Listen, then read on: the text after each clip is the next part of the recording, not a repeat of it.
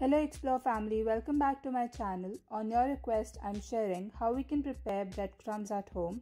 Before heading, make sure to like, share and subscribe and hit the notification bell to never miss our videos.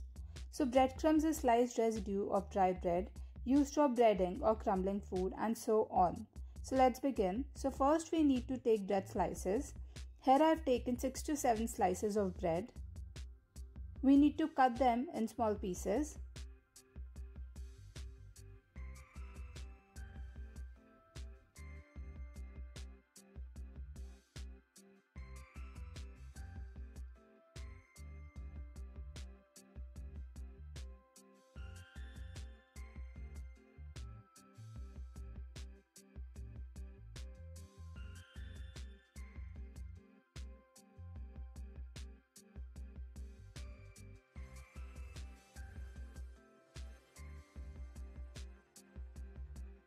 Once it's done, you can transfer them on a baking tray.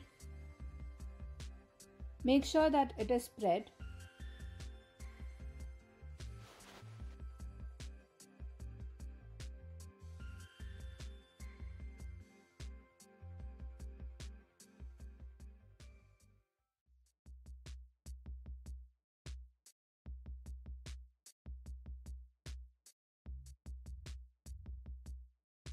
Preheat your oven at 250 degrees Celsius and bake this for 15 to 20 minutes or until it turns golden brown.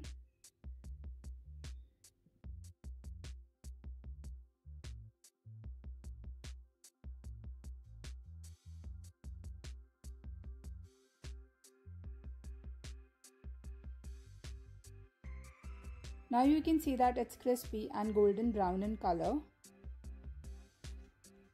Let this cool for at least 15 to 20 minutes. Now we need to transfer it in a grinder and grind it.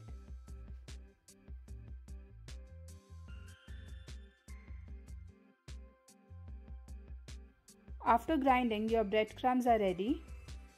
You can make this in large quantities and store it in airtight container and refrigerate it and consume within 10 days.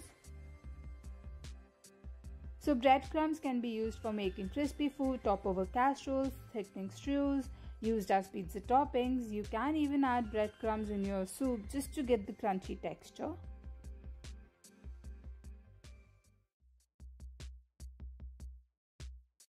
Few of my favorite recipes that I've tried using homemade breadcrumbs are chicken Kiev, cheese corn poppers, dahi kebab. I've already shared recipes on my channel. I will leave the link in the description box below or you can click on the I button above.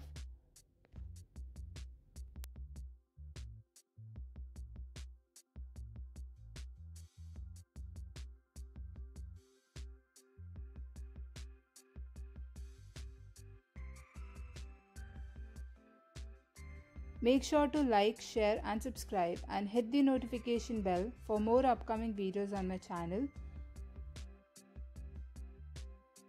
Comment down below if you have any suggestions or feedback.